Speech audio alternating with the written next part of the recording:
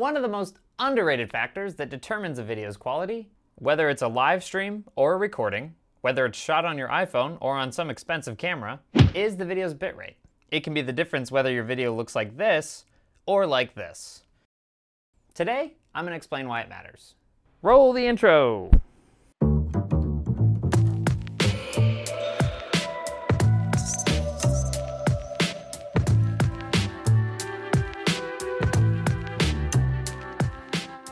Video bitrate is the amount of data, in bits, that is processed every second you're recording or live streaming video.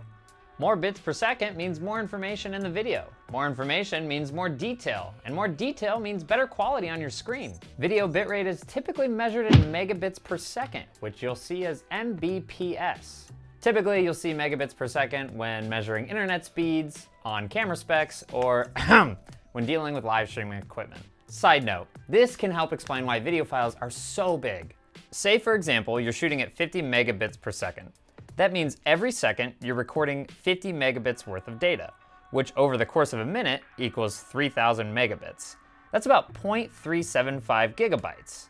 To put this to scale, a high quality photo is about 3 to 5 megabytes, and an average email is around 75 kilobytes, making that 60 seconds of video 12 times the size of a high quality photo and 500 times the size of an email. Okay, side note complete. So what does the bitrate tell you? Well, the lower the number next to the bitrate, the lower the quality of the video. The higher the number, the higher the quality. Let me just clarify. This certainly isn't the only thing that will determine the quality of your video. The frame rate will determine how smooth the video looks, the resolution will determine how many pixels are in the video. There's lots of things that go into making a high quality video, but the bitrate still plays a big factor. I'll show you an example of what I mean. Here's a video that was live streamed in 1080p at 60 frames per second. The bitrate was 8 megabits per second. Here's the same video, but with a bitrate of 1 megabit per second. The resolution is still 1080p, but the video's bitrate isn't high enough to show all that crispy HD goodness. Well, I hope you learned something new today. As always, if you have any questions for me, you can let me know in the comments below or reach me anytime at techtips at boxcast.com. Thanks for watching and happy streaming.